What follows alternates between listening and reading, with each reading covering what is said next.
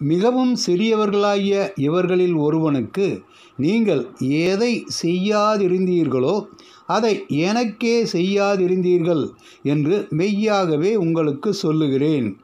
மத்தேயு இருபத்தி ஐந்தாவது அதிகாரம் நாற்பத்தி ஐந்தாவது வசனம். வில்லியம் மெக்கின்லே அமெரிக்காவின் ஜனாதிபதியாக பொறுப்பேற்றார். அவ்வாறு அவர் அமெரிக்காவின் ஜனாதிபதியாக பொறுப்பேற்ற ஒரு சில நாட்களில் புகழ்பெற்ற ஓர் அரசியல்வாதியை வெளிநாட்டு தூதராக நியமித்தார்கள்.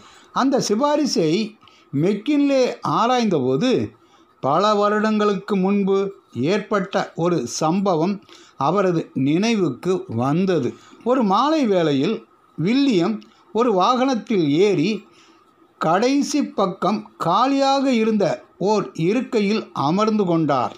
அப்பொழுது ஒரு வயதான பெண்மணி அந்த வாகனத்தில் பெரிய மூட்டை முடிச்சுகளுடன் ஏறினார். உட்காருவதற்கு இடம் தேடினார்.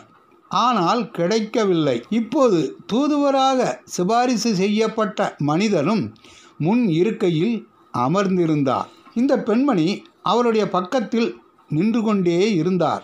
இதை பார்த்த அந்த நபர் அந்த பெண்மணியை பார்த்தால் நாம் இளம் தர வேண்டியது வருமே? என்று அவளை பார்க்காதது போல செய்தித்தாளை வைத்து தன்னை மறைத்து கொண்டார். இதை பார்த்த வில்லியம் எழுந்து முன்பக்கம் வந்து அந்த பெண்மணியின் மூட்டை முடிச்சுகளை தூக்கி கொண்டு அந்த பெண்மணியை தன் இருக்கைக்கு அழைத்துச் சென்றார். தூதுவராக சிபாரிசு செய்யப்பட்ட அந்த மனிதர் தன்னுடைய சுயநலத்தால் பிற்காலத்தில் ஒரு பெரிய பதவியை இழக்கவிருந்த சிந்தனை இல்லாமல் அந்த வண்டியில் பிரயாணம் செய்து கொண்டிருந்தார். நம்மிடத்திலிருந்து புறப்படும் நற்கிரியைகள் பரலோகத்தின் அங்கீகரிப்போடு சுயநலமில்லாதவையாக இருக்க வேண்டும். அதற்குரிய பலனை நம் பிதா தர ஆயத்தமாக இருக்கின்றார். அவனவன் தனக்கானவைகளை அல்ல பிறருக்கானவைகளையும் நோக்குவானாக.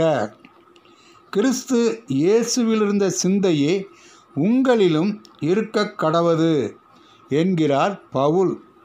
பிலிப்பியர் இரண்டாவது அதிகாரம் நான்காவது வசனமும் ஐந்தாவது வசனமும். ஆண்டவர் தாமே நாம் அனைவரையும் ஆசீர்வைப்பாராக ஆமேன்.